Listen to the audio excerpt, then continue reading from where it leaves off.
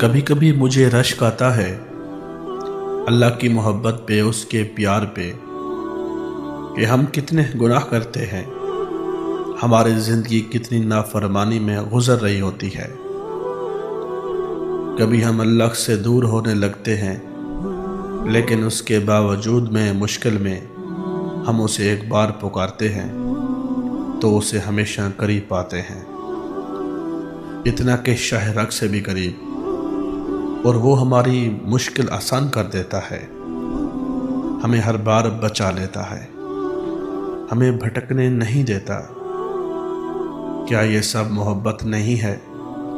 हम आखिर क्यों मोहब्बत का हक अदा नहीं करते?